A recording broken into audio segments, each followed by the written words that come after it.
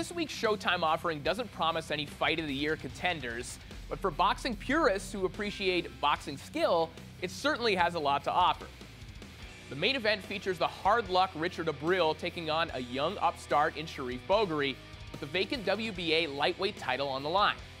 Now, I've labeled Abril hard luck because he should already be world champion right now.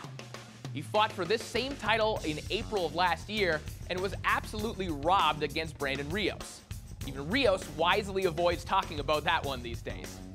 Abril is a shifty, lanky boxer with a high ring IQ that can puzzle most fighters.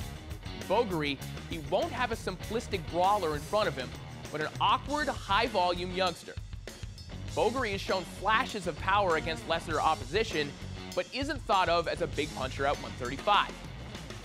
The Ugandan is more than a 2 to 1 underdog, and it likely has to do with the drastic height and reach advantage he'll have to overcome. If he wants success against Abril, who can easily outjab him, he'll need to make it as messy as he did against Ray Beltran in 2011. On the undercard, we'll get another look at Gary Russell Jr., one of the most talented and exciting young fighters in the sport. Unfortunately, he still won't be taking the step up everyone wants him to. He'll take on Vyacheslav Gusev, a light-hitting Russian with a relatively hollow 20-2 record. His best win came over Padjai the Sniper Yankujim, a Thai fighter with an equally manufactured record. Russell is expected to blow through Gusev just as he has with everyone he faced, and probably look spectacular doing it. In all likelihood, he'll do that against the majority of the division.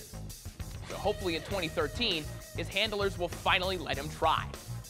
Tune in to Fight Network all week long for Showtime's features on Abril and Bogere, and come back next Monday for more post-fight reaction.